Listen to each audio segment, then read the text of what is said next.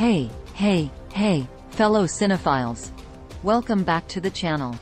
It's your host Sumera here, and today, we're diving deep into the excitement surrounding the much-awaited hashtag Gadar2 official trailer. The iconic duo of Sunny Deol and Amisha Patel, under the direction of Anil Sharma, is back to steal our hearts.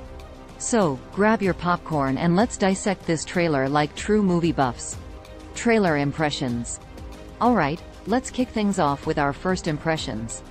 From the very first frame, you're instantly reminded of the raw intensity that the original Gadar brought to the screen. The sequel seems to retain that powerful essence, promising a roller coaster of emotions and a blast of nostalgia.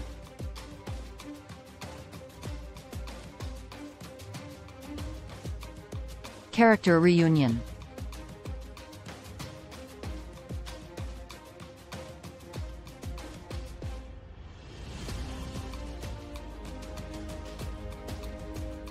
Sunny Deol as Tara Singh is a force to be reckoned with, and it's fantastic to see him reprise this iconic role. Amisha Patel as Sakina looks just as mesmerizing as ever.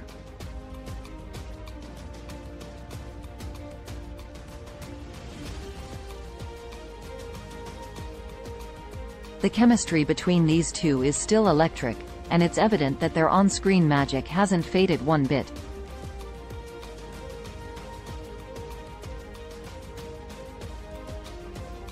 Story and direction. Now, let's talk about the storyline. The trailer hints at a new chapter in Tara and Sakina's journey, set against the backdrop of a tumultuous historical period. Anil Sharma's direction seems to capture the grandeur of the era while staying true to the essence of the Gadar franchise. Visuals and cinematography. Visually, the trailer is a treat. The cinematography captures the epic scale of the narrative, and the frames are beautifully composed. From sweeping landscapes to intense close-ups, each shot seems meticulously designed to draw you into the world of Gadar once again. Action sequences. And now, What's a Gadar movie without some heart-pounding action? The trailer showcases high-octane fight sequences that promise edge-of-your-seat thrills.